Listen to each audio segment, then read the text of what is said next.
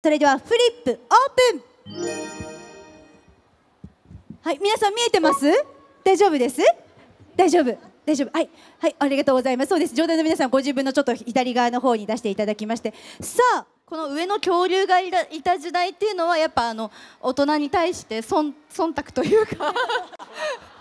あの恐竜パニックの方ですかね、はい、映画の宣伝の意味も込めて書かせていただいたんですけど、はい、でも本当はやっぱ新選組にあはい幕末の日本行ってみたいなっていうふうに思います。その時代を見てみたいと。はい見てみたいですね。なんか以前起きた掃除の役をやったことがあるのでそれも含めちょっと新選組会ってみたいなって思います。僕すごいあの歴史が好きでなんか歴史の建物とかすごい好きなんで奈良時代の奈良の大仏を見に行きたいなと思って生でその長い年月をかけてどうやってあの昔の人が奈良の大仏を作ったのかっていうのすごい興味があったりしてなんでその行って生でえー、作ってるのを見たいですし「とはなら戦国」って書いてるんですけどいやとはすごい戦いが好きなんでやっぱこう武士のいる時代に行ってとは将軍とバンバ将軍が2人でこう 天下を取りたいなっていうのはすごい思ってたんでここにちょっと書かせてもらいましたなるほど今回の GO の方に行くと参加したかったぐらいな時代っていう形になるわけですね。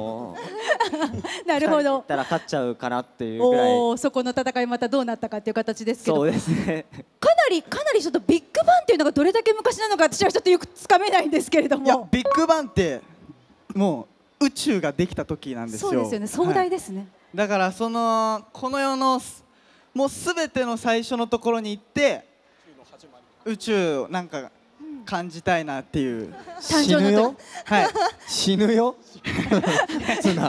死ぬよ？死なないよ、うん、死ぬかその瞬間をこう見てるわけですね、はいまあ、あと H の騎士なんでなんか頭良さそうなこと書いた方がいいかなと思って もうそれが頭良くない。いや多分一番頭悪そうな回答になってる。小学生。小学生。一人だけ時代って書いてないんだもん。気になるよね小学生気になるねやっぱり。ぜひお願いします。やっぱ小学生の頃ってね何でも面白かったじゃないですか。面白かったね。何を考えずに面白かった。もし自分がその時の人になれるならっていう意味で小学生って書かせてもらったんで今小学生の人たちは本当に今楽しんだ方がいいから。本当に楽しんだ方がいいから。汗すごいよ。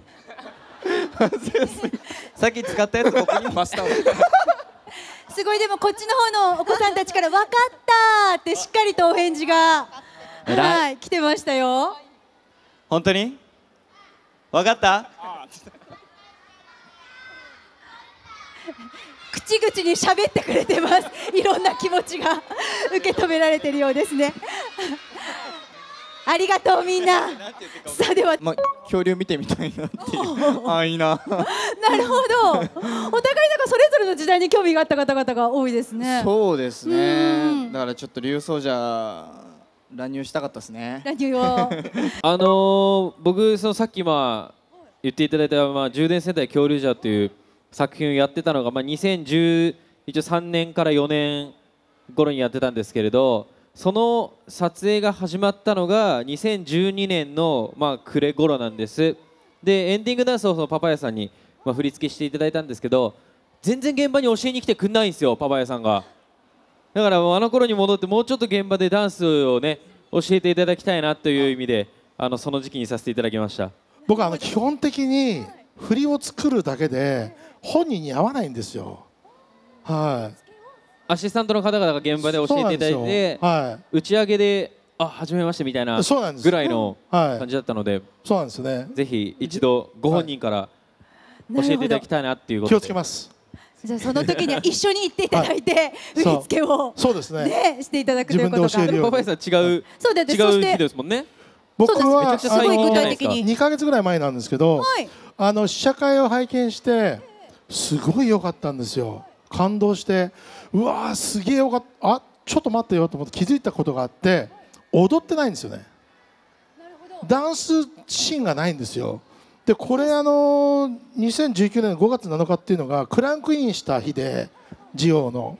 DA PUMPと一緒だったんですよ。なんか踊っときゃよかったなと思って今回そうですね踊る方々がそう。踊りのプロがいっぱいいるのに、はい、一踊りもしてなかったよね。まあ斉藤君も一緒にいたんですけど、僕と斉藤君と DA PUMP だったんですよ。だから踊ってないなと思ってだからえそんなしんどなって感じ？俺変な感じ？いやいやそんなことないです、はい、だからなんかちょっと踊っときゃよかったなと思って。なるほど。ただでもでも後々考えたら踊りが入るような場所がないんですよね確かに。盾とかかっこいいし、はい、はい、だからこれはもう忘れてください。いやいやいや。でもまた時空を超えて行ってみることがあったらそういう作品もちょっとちょっとちょっと踊っとこうよって言ってたかもしれないですね。そうですね、はい、なるほど。ありがとうございます、ありがとうございます